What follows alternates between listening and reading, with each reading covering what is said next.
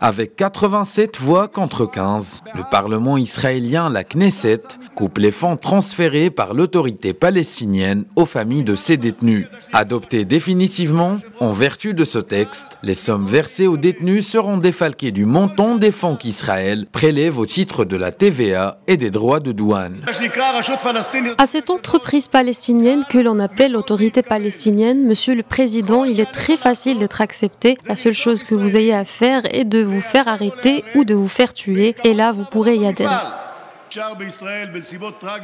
Selon Avi Dichter, un député du Likoud et l'un des initiateurs de cette loi, les sommes versées aux familles représentent 7% du montant du budget de l'autorité palestinienne dont le déficit est déjà important.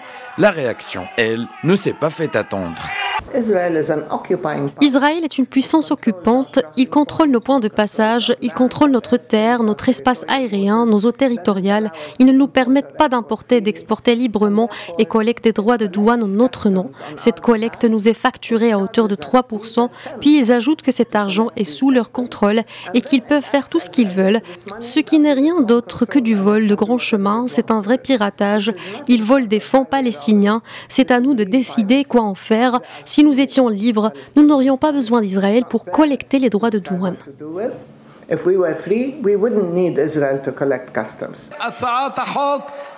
Par ailleurs, et en boitant le pas à la Knesset, l'Australie a décidé elle aussi de mettre fin à l'aide directe à l'autorité palestinienne. À l'heure actuelle, la question des prisonniers demeure très sensible parmi les Palestiniens. Depuis 1967, la majorité des familles palestiniennes ont eu au moins un proche détenu par les forces israéliennes.